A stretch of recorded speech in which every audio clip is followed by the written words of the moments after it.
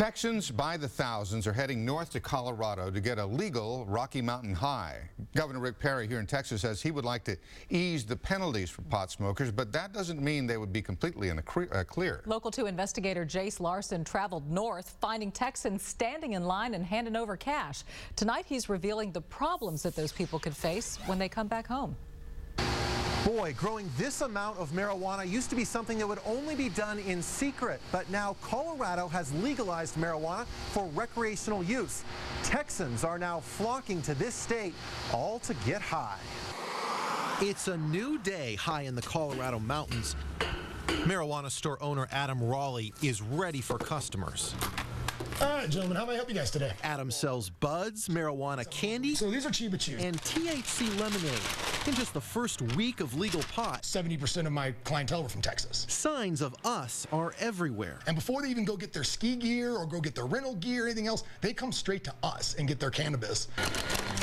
Texas is huge up here. This is where everybody comes. I mean, I see them stockpiling Pringles and Visine at the market, so it's kind of an ongoing joke. Texans here aren't afraid to buy what's not legal in our state. Now, I definitely like the idea of being able to indulge in something that was illegal before. You've got the little gray haired old lady, mom, the 21 year old. You have the Texans that look just like a Highway State Patrol cop. They're in here like, here's my ID, I want to buy. So those are the, those are the kind of things I'd offer you. Barb is from Dallas. Because I have really bad back pain and I have shoulders and uh, my whole back is a spasm. And so I tried a little bit of a candy bar the other night and man, I felt great in no time. State law says that Colorado residents can buy up to an ounce of marijuana at a time, but out of state residents can only buy a quarter of that amount, or about what would fit in this yellow plastic jar. There's nothing in the law, though, that says someone can't go from one dispensary to another buying marijuana. As legal pot grows, so does Colorado's revenue. Pot is taxed at 25%. A $90 quarter ounce, about enough to get high eight times, makes the state $22.50 in sales tax. Welcome to our garden. How much is each one of these plants worth? Roughly about $5,000 a plant. Are you rich?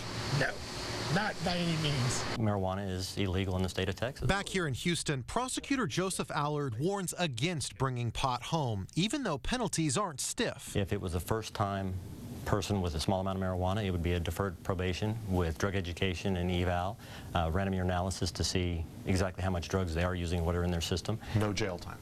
Generally not. At airports, TSA says it focuses on terrorism, and pot possession is usually handled by local police. In Texas, many employers can fire you for a positive drug test regardless of where you used marijuana. Adam says that's not stopping people, and in fact, he sees an expansion in his future. I'm probably thinking that this business, this in, this industry, will probably rival the ski industry in, uh, in the next couple years. It's important to note that marijuana is still illegal under federal law. Most DEA agents, though, make it their mission to go after large-scale marijuana traffickers and people involved in criminal enterprise. In Telluride, Colorado, Jace Larson, KPRC Local 2.